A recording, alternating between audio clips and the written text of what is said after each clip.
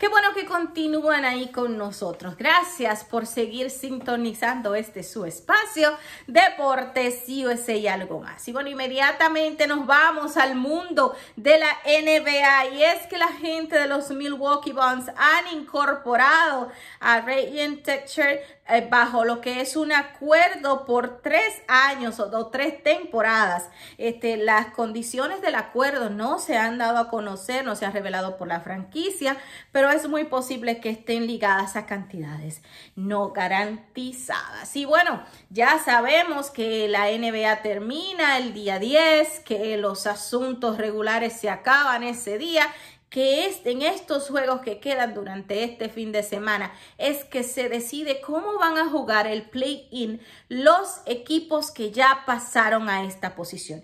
Ya no hay mañana para los que quedaron fuera del play-in. Ya los que están adentro van a jugar la próxima semana ese pequeño torneo que los llevará quizás a los playoffs. Ya hay equipos que garantizaron su posición, pero hay posiciones que deben ser cubiertas y en total cada conferencia llevará 10 equipos. Y bueno, se jugará, ¿cómo va a jugar lo que es el día 10, el play-in, que es una nueva modalidad? que la NBA introdujo hace ya dos años a lo que es su liga, pero que en esta ocasión van a continuar con ello y beneficia mucho a varios equipos que iban a sorprender, en que creíamos que iban a entrar directamente a los playoffs y que oh sorpresa, cayeron y cayeron y descayeron y quedaron en el play-in. Otros como los Lakers quedaron fuera sorprendiéndonos a todos, ni play-in ni playoff. Así es que, cha, cha, cha, cha, lamentable situación para la gente de los Lakers. Pero bueno, la cosa lucirá de esta manera. Se va a jugar de 12 al 15 el play-in y será de la siguiente manera en el este. Equipos que ya entraron en el play son los Cavaliers, los Knicks, los uh, Hunts de Atlanta y la gente de los Hornets de Charlotte. ¿Qué pasaría de ser de la siguiente manera? Jugarían este, si la cosa continúa como van hasta el día de hoy, Jugarían a lo que es Brooklyn Nets contra la gente de los Cavaliers, eso será el día 12. El día 13 le tocaría jugar a la gente de Atlanta con la gente de Charlotte. En el oeste, las cosas lucen de la siguiente manera. Equipos que pasaron al play-in son los Timberwolves, eh, Clippers, Pelicans y Spurs. ¿Cómo jugarán? Jugarán de la siguiente manera. Si todo continúa exactamente en esa posición, de antes del día 10 hasta el día 10, bueno, será de la siguiente manera. La gente de los Clippers jugarán con los Timberwolves y la gente de los Spurs jugará con los Pelicans. Esto el 12 y el 13 respectivamente.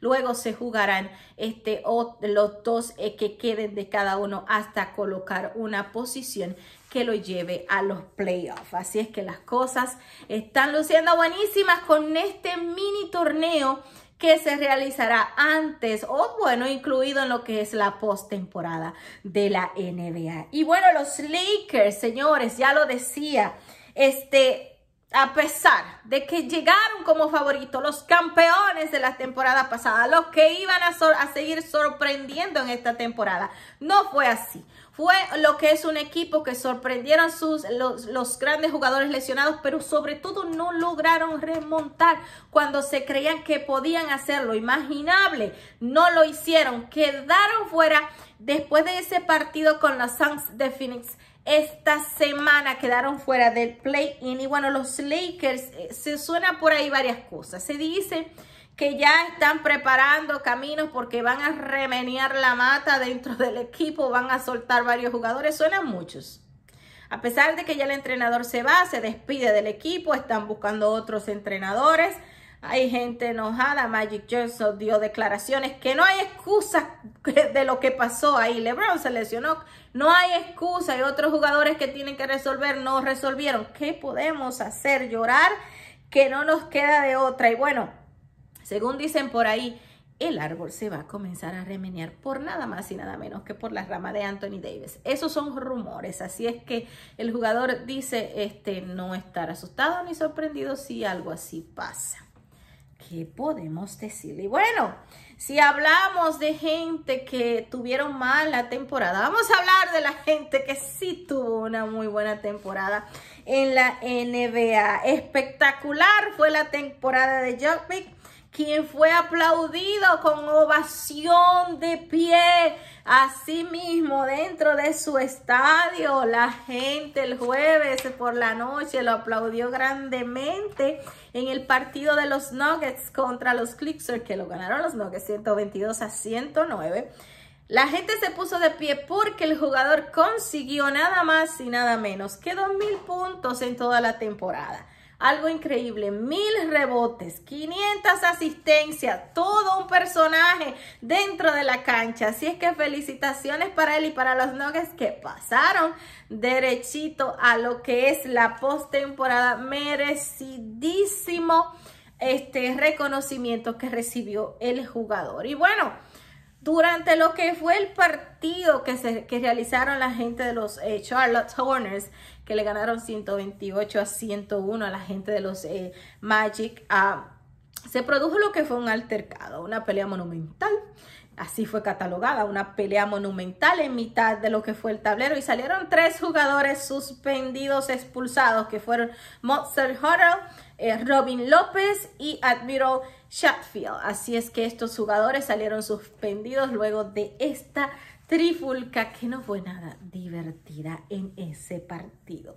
Y la gente de los Chicago Bulls anunciaron que su base, Lorenzo Ball, no jugará más en lo que resta de temporada en la NBA. Esto es debido a las molestias que todavía sigue teniendo el jugador en su rodilla, la cual se operó en enero se preveía que el jugador luego de que fuera operado regresara en 11 semanas a ser parte del equipo, pues no, no va a poder regresar más debido a que siguen las dolencias, así es que el jugador se quedará fuera sanándose para que le espere una próxima temporada mucho mejor. Así es que muchísima suerte para él. Y bueno, vamos a hablar por última vez de las posiciones regulares. Esto es quien ya clasificó regularmente, quien se va a play-in. Y bueno, en el este clasificaron primera posición la gente de los hits, eso ya lo sabíamos, los Bucks clasificaron en segundo, Celtics tercero, 76ers en cuarto, Raptors en quinto y en sexto. La gente del oeste, los Suns, hace muchísimo que clasificaron en la primera posición. Memphis en segundo, Golden State